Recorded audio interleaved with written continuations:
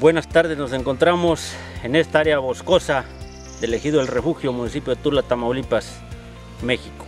Área que ha sido fortalecida a través de los programas federales de la CONAFOR. Hemos tenido múltiples apoyos que nos han fortalecido y beneficiado en la economía familiar de nuestros hogares. Por citar algunos, a través de las brechas cortafuego, por un lado combatimos o nos prevenimos para los tiempos de incendios, pero a la vez tenemos un ingreso económico.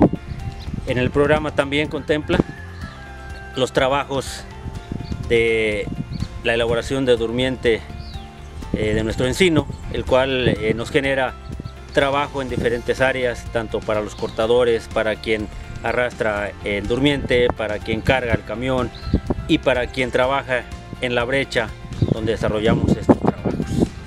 La adquisición de los implementos como los aserraderos, eh, los camiones, la máquina, eso fortalece los trabajos en el desarrollo armónico de esta nuestra comunidad.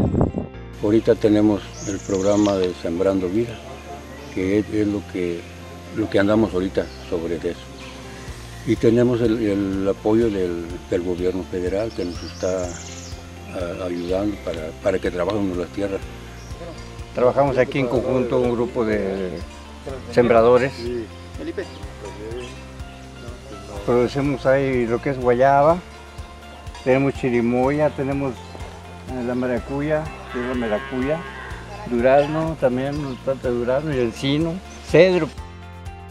Sí, nos ha, servido para, pues, para el bienestar de nuestras familias, para este, lo que más necesitamos aquí en el, en el ejido. Eh, hay, varias cosas que, que nos, han ayudado porque aquí siempre este ejido ha sido muy, muy pobre.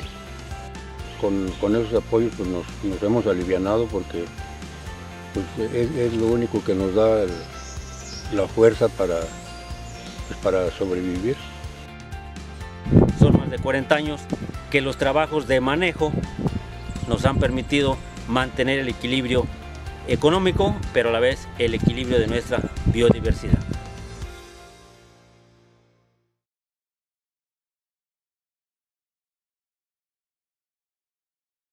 Comisión Nacional Forestal. Gobierno de México.